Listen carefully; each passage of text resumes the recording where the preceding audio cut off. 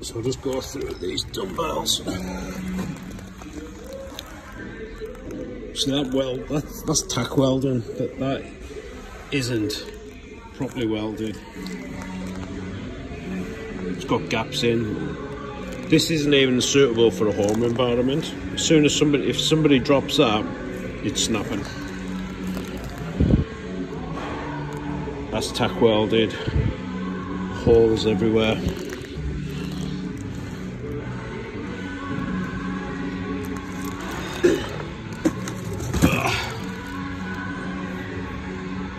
Like the quality on that is awful.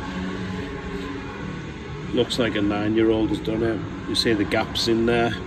That is literally just going to snap as soon as someone uses it. Same welding on that side, gaps, and someone just splattered a lot of paint over it.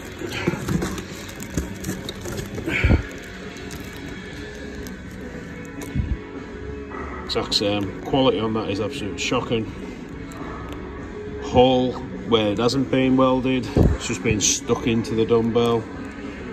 Awful welding.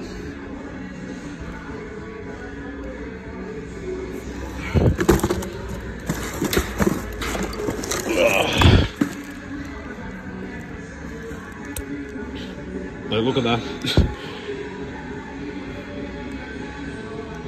Like I could probably weld better myself and I've never welded before honestly absolutely awful.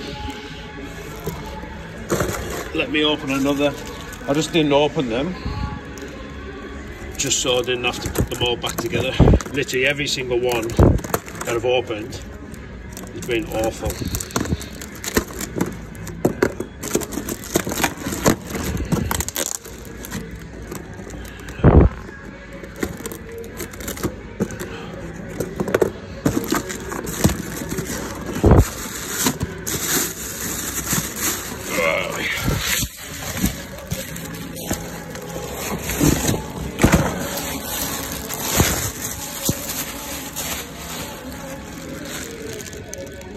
Yeah, so absolutely shocking.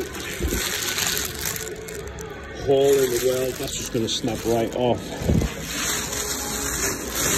Like, if, if you guys think that's acceptable quality for a home gym, it's not just a com commercial, awful.